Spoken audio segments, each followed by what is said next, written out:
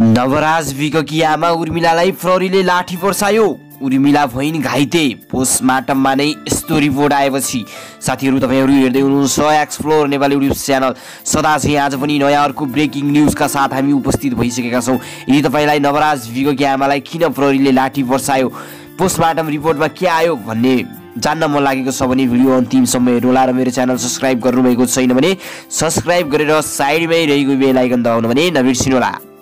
जाजरकोटमा postmortem report बाहिरिएपछि भएको आन्दोलनमा प्रहरीले लाठी चार्ज गर्दा नवराज विगकी आमा उर्मिला घाइते भएकी छन्।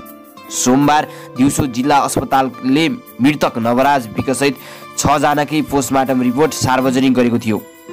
पोस्टमार्टममा उनीहरूको नदीमा हाम फाल्दा ज्यान गएको भनेपछि पीडितहरू आक्रोशित बनेका थिए। एकाएक पीडितहरूको आक्रोश आन्दोलनमा परिवर्तन हुँदा जिल्ला प्रहरी कार्यालय घेराउ भएको थियो। प्रहरी कार्यालयमा नाराबाजी र प्रदर्शन बढेपछि प्रहरीले सुरुमा लाठी चार्ज गरेको थियो। लाठी चार्जका क्रममा नवराजकी आमा उर्मिला भिकको हातमा चोट लागेको छ। नवराजकी आमासहित अरू पनि घाइते भएका छन्। प्रहरीले स्थितिलाई नियन्त्रणमा लिन चार राउन्ड हवाई फायर गरेको थियो। भने केही सेल असुर ग्यास समेत हानेको थियो।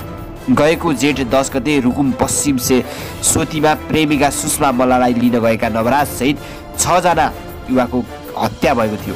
प्रहरीले हत्या गर्ने चौबिसजना विरुद्ध जिल्ला अदालत रुकुम पश्चिममा आजीवन जीवन कैदको माग गर्दै मुद्दा चलाएको छ। पाँचजना भने अझै फरार छन् साथीहरू।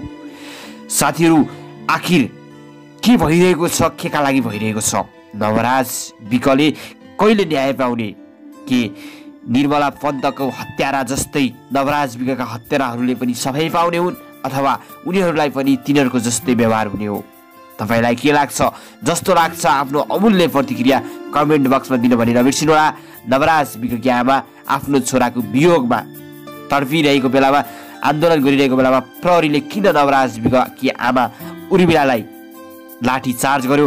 यो विषयमा प्रहरीले बोल्नु जरुरी छ साथीहरू। तपाईँलाई के लाग्छ आफ्नो अमूल्य प्रतिक्रिया कमेन्ट बक्समा दिनु भने नबिर्सिनुहोला अर्को नयाँ ब्रेकिङ न्युजका साथ हामी छिटै नै उपस्थित हुनेछौँ। त्यतिखेरसम्म स्वस्थ रहनुहोस् मस्त रहनुहोस् अनि मेरो च्यानल सब्सक्राइब गर्नुभएको छैन भने सब्सक्राइब गरेर साइडमै रहेको बेल आइकन दबाउनु भने नबिर्सिनु होला है।